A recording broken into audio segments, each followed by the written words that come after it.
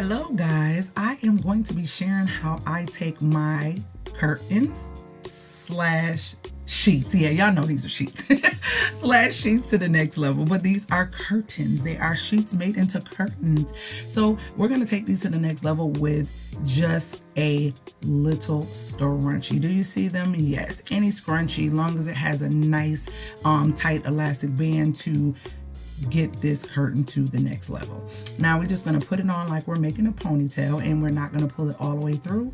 So simple guys, a little kid can do this. And you just like Bellop it around and pull it out until you like it, how big you want it. You want to make it look like a flower. However you choose to create a design on the curtain, you can utilize these scrunchies to do so.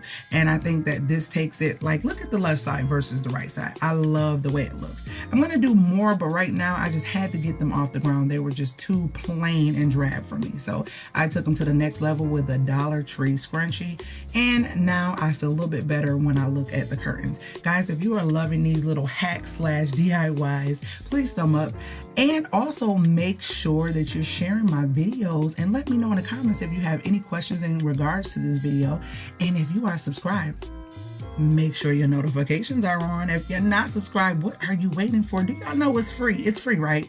You do not get charged for subscribing. That way you can always be notified when your girl loads videos. And if you have any videos that you are interested in me doing, please leave them below and let me know. And I'll and your girl will do her best to get them out to you guys later, Gators. And I will see you guys in the next video. But remember, stick to your script because you're the best at it. If you were looking for your girl on social media, this is where I am at CPR for the body. But hey, before you go, check out these great videos I have lined up.